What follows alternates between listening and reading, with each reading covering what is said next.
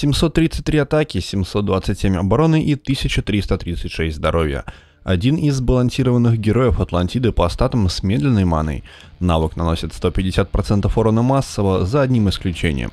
Чем больше маны будет у врага, тем сильнее будет урон ульты, вплоть до 270% накладывает на себя баф воскрешения. Баф длится 5 ходов, и если герой умирает под этим бафом, то воскрешается на следующем ходу с 32% здоровья, с той маной, что была при смерти. Также после смерти снимает с себя все негативные эффекты. Герой сложен, уникален и интересен, поэтому не буду томить и сразу переходим к обзору.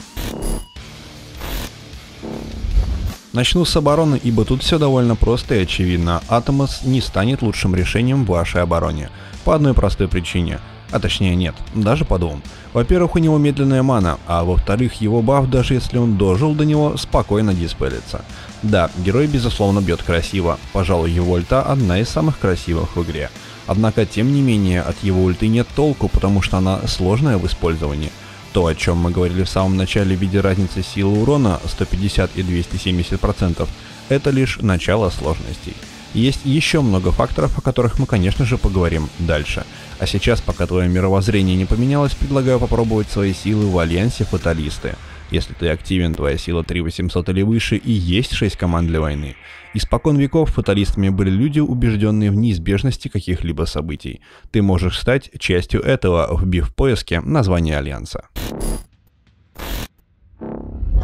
По классу герой, как обычно, имеет два пути развития, либо уклон по атаке, либо уклон в защиту.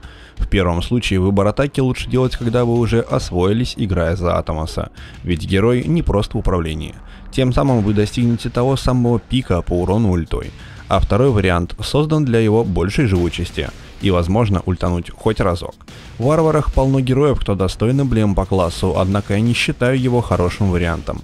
Я бы дал ему максимум плюс 8 до первого перка, который улучшает атаку в процентах. Но решать как обычно вам, в каком стиле и где вы его будете использовать. Ведь чтобы играть за него в атаке, нужно соблюдать некоторые условия, о которых мы сейчас и поговорим. С чего стоит начать? С того, что ультой не стоит разбрасываться, как только появилась возможность. Ведь чем больше врагов маны, тем больше будет урон. Если у врагов будет условно по половине маны, то и удар будет по каждому 210%, что сигнализирует нам о том, что этот урон будет даже меньше, чем у Хоргала. Только Хоргал добавок к этому накинет срез атаки. Но это все условности, и постигаются они именно после многих битв за героя. Следующий момент, который немаловажен, этот герой довольно привередлив к подбору команды – и в идеале, чтобы раскрыть его полный потенциал, вам понадобится всего лишь Эвелина Уилбер. Да, всего лишь. Ну и герой, который поможет дожить этим трем главным действующим лицам в вашей команде. Такой, как, к примеру, клык на эмблемах. Суть подбора в том, чтобы нанести массовый срез брони всем на поле, а затем трем из них снять распределение, которое накладывает Уилбер – Одновременно с этим срезать еще броню и против зелени. И вот под этими срезами урон с ульты Атомоса под действием усиления клыка может быть от 400 вплоть до 7 или 8 сотен. Все зависит от именно того момента, в который вы ультанете. И желательно подобрать этот момент, когда враги будут почти заряжены по мане. Но не забываем, что сняв распределение Уилбера, мы получаем двух героев, на которых остается данный эффект, что ничуть не мешает урону влететь как нужно. Дико, точно и фатально. Вы можете сказать, но с такими условиями любой массовик будет хорош, и вы будете абсолютно правы. Так оно и есть, и даже Хоргл с такими условиями не выглядит уже дном. Однако вы должны понимать, что Атомос все-таки уникальный герой тем, что может стать после смерти.